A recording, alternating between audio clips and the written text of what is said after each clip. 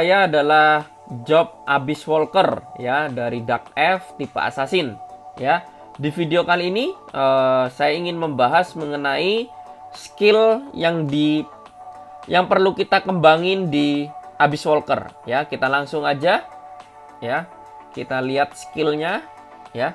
Nah, kalau saran saya guys ya, saya bahas dulu dari pasif skill ya.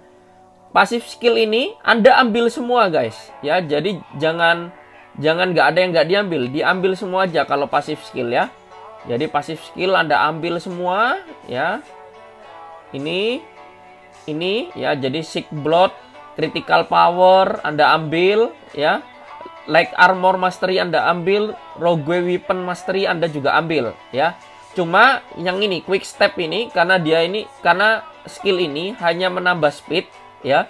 Saya nggak terlalu uh, ngambil terlalu tinggi sih Kenapa? Karena keterbatasan Adena dan uh, ini ya, keterbatasan Adena sih sebetulnya. Kalau skill poinnya sih saya sudah terlalu banyak ya. Nah, terus aktif skillnya ya. Nah, aktif skillnya yang perlu Anda ambil dari job pertama hanya Mortal Blow ya. Jangan ngambil yang lain. Ini guys, kalau Anda lihat saya sempat ngambil energi blast sama power thrust ya. Jujur saya uh, menyesal saya ngambil itu ya. Kenapa? Karena tidak dipakai guys ya. Yang dipakai hanya mortal blow ya. Sekali lagi hanya mortal blow ya. Anda tingkatkan mortal blow ini sampai setinggi mungkin. Ini saya belum ambil ya.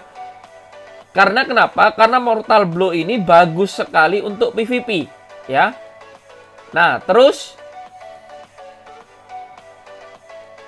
Bentar, saya ambil ini. Saya ambil terus. Pokoknya mortal blow itu di fullin. Kenapa? Karena ternyata Mortal Blow ini yang paling dipakai ketika nanti level Anda sudah besar.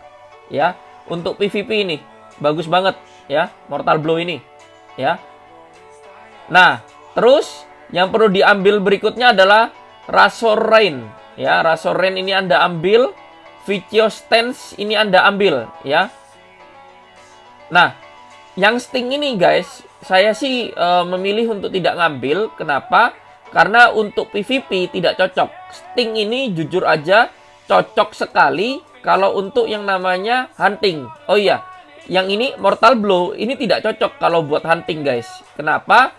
Karena Mortal Blow ini uh, efeknya kan ini ya bikin musuhnya jatuh. Nah, tapi kalau misalnya hunting, apalagi lawan boss, musuhnya itu nggak jatuh, nggak berguna jadinya, ya. Jadi ya Anda bisa pilih lah kalau Anda memang mau fokus abis walkernya untuk uh, hunting, Anda tingkatin yang sting. Ya. Tapi kalau Anda mau uh, untuk tipe PvP, Anda ambil yang mortal blow, ya. Oke. Okay? Nah, setelah itu saya juga ingin bahas yang namanya soul crystal, ya. Kita lihat soul crystal. Nah, soul crystal ini guys, kan ada substatusnya ya tiap warna ini ada substatusnya. Jadi contoh warna ungu ini ya Anda bisa lihat ada P attack, M attack, max MP dan lain-lain ya. Nah, ini Anda bisa ganti substatusnya dengan menggunakan yang namanya red diamond ya. Untuk warna ungu guys, saran saya uh, Anda bisa pilih ya salah satu ya. Yang bagus sih untuk Abyss Walker itu adalah P attack ya, penetration dan critical damage. Yang paling bagus apa dari tiga itu?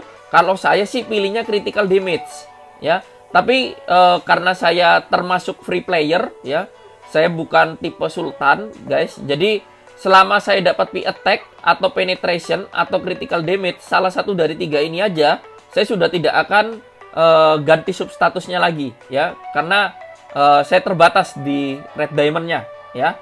Kita lanjut untuk warna berikutnya, warna oranye ya. Kalau warna oranye ini sama, saya biasanya ngambil kalau nggak P attack, penetration, atau critical damage. Ya, salah satu dari tiga itu. Yang terbaik apa? Critical damage. Ya, lanjut. Warna kuning. Ya, kalau warna kuning ini, ya Anda bisa lihat sendiri. Ini uh, apa ya? Ini uh, substatus yang tersedia. Ya, kalau untuk Abyss Walker yang paling bagus adalah, menurut saya adalah resilience, ya, resilience dan yang namanya itu max HP ya. Antara dua ini biasanya saya ambil atau PDEV lah atau MDEV ya. saya biasanya pilih antara empat itu. Cuma yang terbaik kalau menurut saya Max HP kalau yang terbaik ya kalau untuk kuning sama resilience antara dua itu ya. Terus kita lanjut warna merah ya. Nah, kalau warna merah ini saya biasanya pilih antara P attack ya, max HP ya, penetration atau critical damage ya. Biasanya saya pilih dari salah satu dari uh, yang tadi guys ya. Oke kita lanjut lagi. Untuk warna biru ya. Nah kalau biru saya biasanya pilih attack penetration atau critical damage ya lanjut kalau hijau saya pilihnya biasanya resilience ya atau max HP ya antara dua itu Ya, kita lanjut lagi warna biru. Nah, kalau warna biru ini guys, saya biasanya pilih antara max HP dan resilience juga, ya. Ada yang tanya, lo bang nggak main evasion, menghindar? Uh, jujur saja saya nggak main itu, guys, ya. Karena kalau untuk PvP, evasion kurang begitu berguna ya, menurut saya. Nah, berikutnya yang warna hitam. Warna hitam ini max HP dan resilience juga, guys ya. Paling bagus Max HP. Ya, jadi kalau Anda diperhadapkan antara Max HP dan Resilience, warna-warna yang sebelumnya juga ya. Kalau saya sih pilih Max HP sebetulnya, ya. Tapi dapat Resilience saja sudah cukup bagi saya.